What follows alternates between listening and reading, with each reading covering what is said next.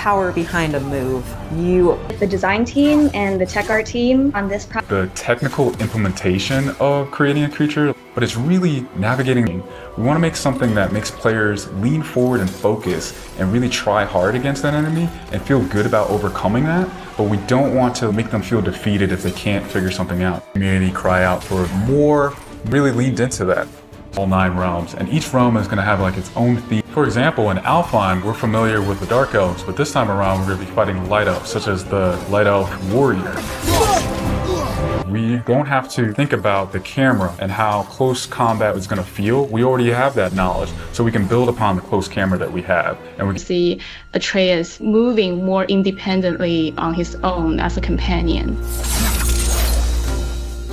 I think what the players really love is the powerfulness of it.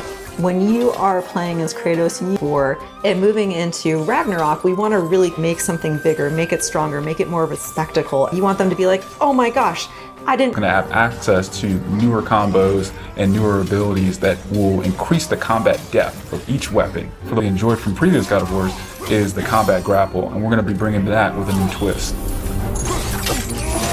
I'm very that brings so much more speed into the movement and the dynamic feel to it. We go for a shield that gears towards parrying. If you're a big blocker, then you could choose a shield that will really match your playstyle. When building up the stun meter this time around is going to lead to different ways to basically decapitate the enemy. Added for Kratos is his new pre-fall attacks. You could jump off a ledge, slam down on him. And that you can also take advantage of that verticality, I think it just adds such another interesting layer to a fight. Alongside you, and sometimes even surprise you with his combo abilities too. Actions that you'll see Atreus do leverage the fact that he's older now, he's bigger now. And magic has a different flavor not side by side together. Um, there are also a lot of mini games and you know play for example like the puzzle systems and the set pieces. You definitely will see a lot.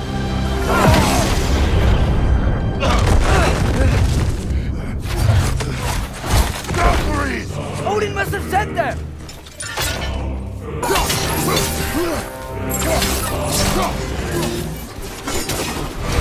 There's a or we'll add the different rings, such as what we did in the last game, that lets you know that this attack is unblockable, you need to dodge it. There's tons to offer you will be fighting. Damn it. I think each one looks so much different from the next one, and each of them have their own play styles and their own little fantasies that go into it. And so.